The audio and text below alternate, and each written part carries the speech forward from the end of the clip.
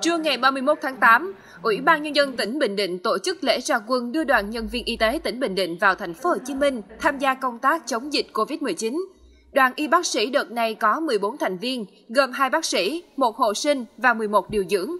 Dịp này, Bình Định cử thêm một bác sĩ tại bệnh viện Đa khoa tỉnh Bình Định đến bệnh viện Chợ Rẫy thành phố Hồ Chí Minh để tham gia chống dịch và tập huấn nâng cao năng lực hồi sức tích cực cho bệnh nhân COVID-19 nặng.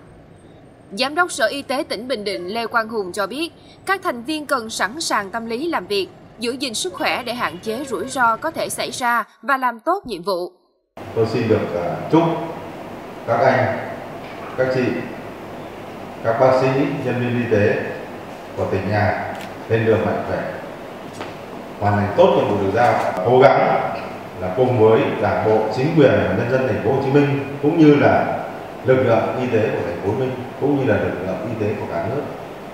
sớm ngăn chặn được cái sự lây lan của dịch bệnh.